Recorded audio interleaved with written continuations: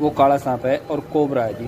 अच्छा। लेकिन आप लक्की हो कि आपको कोई दिक्कत नहीं आई है सिर्फ़ यहाँ। हाँ। और इतने मोटे दांत के जो निशाना ब्लीडिंग हो रही है हाँ जी।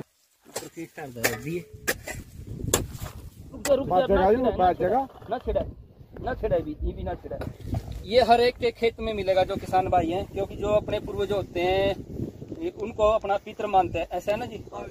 और वो यहाँ ऐसे इसके ऊपर जल चढ़ा के ऐसे पैर ऐसे करके ऐसे माथा रख रहा था।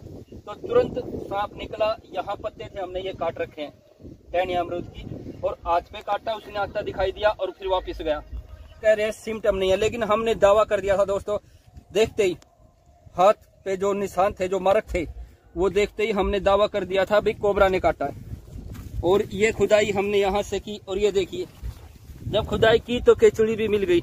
निशान देखते हमने दावा किया था भाई, कोबरा सांप है और ये देखिए केचुड़ी भी मिल गई। और अब कोबरा ये खुदाई की ये भाई हमें खेत में लेके सामने होगा। लिया कुंडी लिया। दस्ताना दस्ताना भी दे। यहाँ से देखिए जहाँ हमारी ये देखिए ये देखिए दोस्तों हमने दावा किया था इनको हॉस्पिटल में। हमने ये ये ये देखिए ये इसी ने काटा था उसको पीतर की समाधि से निकल के।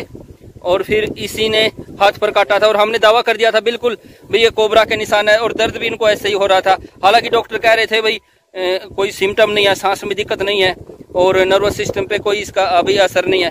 लेकिन इसको अभी थैले में डाल लेंगे और क्योंकि दोस्तों इसका लग, लगातार खतरा था। इन भाइयों ने फिर हमसे एक अपील की। कुछ उल्टा हट गया। उल्टा हट गया। गाँव कौन सा ये काबड़ी है। काबड़ी वो काला सांप है और कोबरा है जी। अच्छा। लेकिन आप लग